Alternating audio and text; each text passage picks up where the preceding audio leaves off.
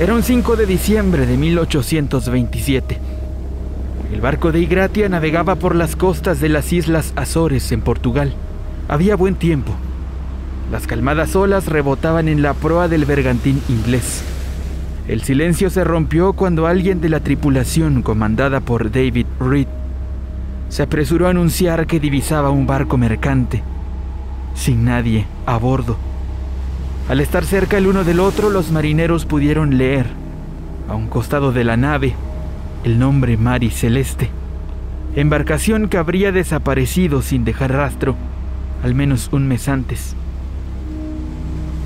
Habían partido de Nueva York y se dirigían hacia Génova, Italia.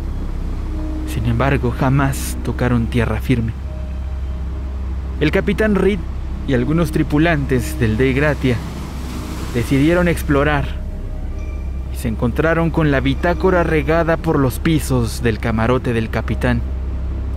Las pertenencias de la tripulación aún estaban en las habitaciones.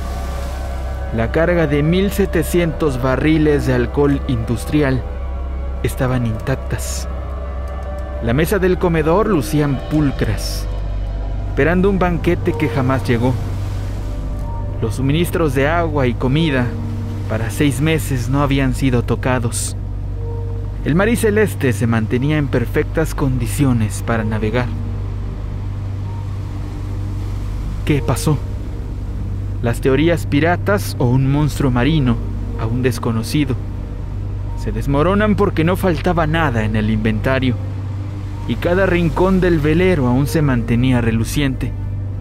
Lo único cierto es que este es uno de los misterios náuticos más grandes. Toma mayor relevancia cuando nos enteramos que el Rey Gratia, embarcación que se hizo de una recompensa de más de 83 mil dólares por encontrar al errante inglés, sufrió un destino peor que el mar y celeste. Naufragó en 1907 luego de que sus amarras se rompieran durante una tormenta. Una maldición o una terrible coincidencia. Suscríbete a este canal. Seguiré subiendo más historias.